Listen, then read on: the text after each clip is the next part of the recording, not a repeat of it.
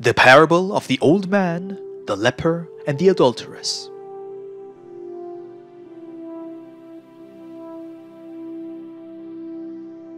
The Lord says, A parable.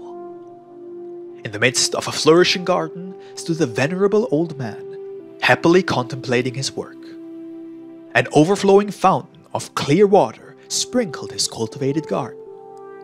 The old one wished to share his fruits, and he invited travelers to partake of his blessings. There came to him a man, sick with leprosy. The old one regarded him with love, received him, and asked him what he was seeking. The traveler said to him, Do not come near me, for I am a leper. The old one, without feeling any repugnance, allowed him to enter. He gave him shelter in his home, and he nourished him without asking the cause of his illness. The leper, while under the protection of the old one, cleansed his body, and full of gratitude, said to him, I will stay with you, for you have restored my health. I will help you to cultivate your fields. Afterward, a woman arrived at that place, with desperation reflecting on her face. And the old one asked her, What do you need? And tearfully she replied, I cannot hide my sin. I have committed adultery, and I have been turned away from my home, and I have abandoned my small children. The old one said to her, Do not fall into adultery again. Love and respect your spouse, and before you go back to your home, drink from this clear water and purify yourself. But the woman replied, I cannot go back, but allow your calling to reach my home, and I will remain at your service. The days passed, and the small children who had been left alone went in search of the old one, for they knew that he imparted charity, and he said to them, What do you seek? And they answered, We have been left alone in our home. Our parents have abandoned us, and we have come to you in search of bread and shelter, for we know that through you we will find them. The old one said to them, Come in, your parents are with me. Rest and join them.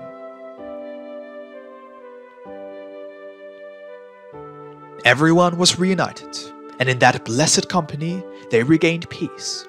There was forgiveness and reconciliation, and they returned to their everyday life. The regenerated father, cleansed of leprosy, sheltered the woman under his roof again, and gave warmth to his children. She, repentant and cleansed, was a refuge for the man and a cradle for her children. The children, who thought they had lost their parents forever, gave thanks to the old one for having regained them and for permitting their home to be restored. This is the end of the parable.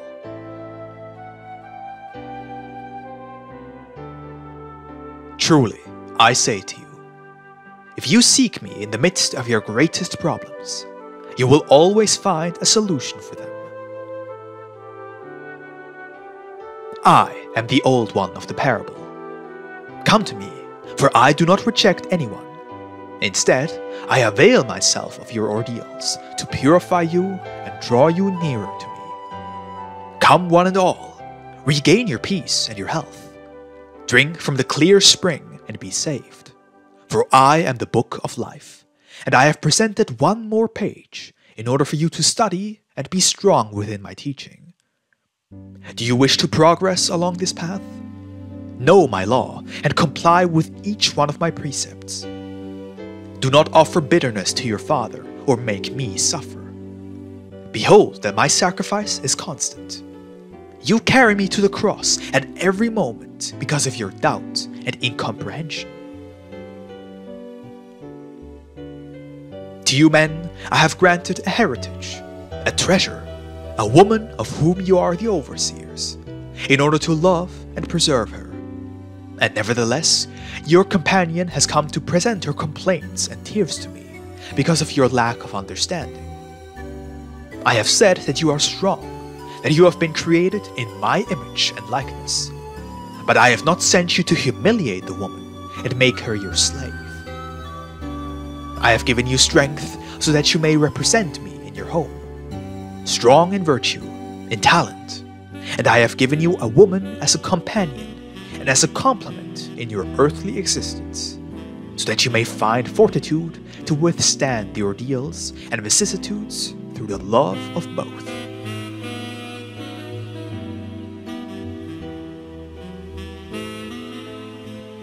Now I am calling you to my kingdom, so that you may be saved. But you must work and earn merits in order to climb toward the path of light that I have outlined for you. I anxiously await you.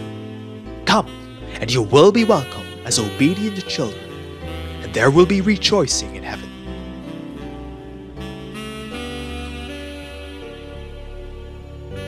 Why do you feel fatigue in your spirit when I give you strength every instant?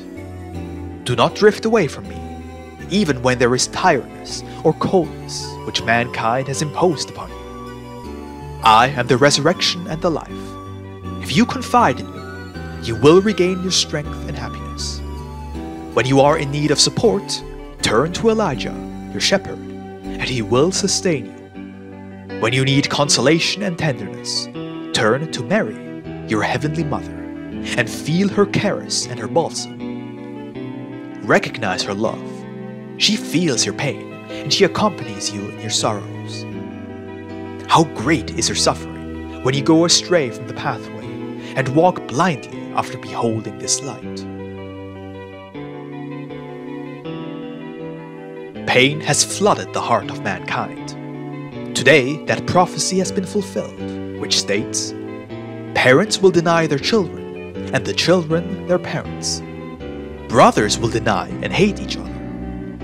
You will also behold how the homes can be places of discord and hostility.